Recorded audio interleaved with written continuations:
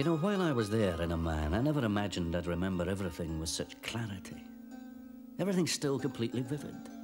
The sound of mortars, the mimeograph machine and the PLO post where I first met friendship, even the taste of the tea.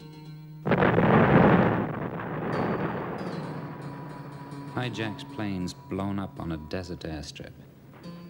That's the image we all remember. Pure spectacle, Millions of dollars going up in smoke. Pure waste. Pure destruction.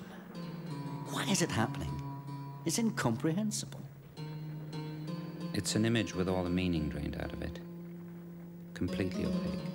Like a curtain between us and history.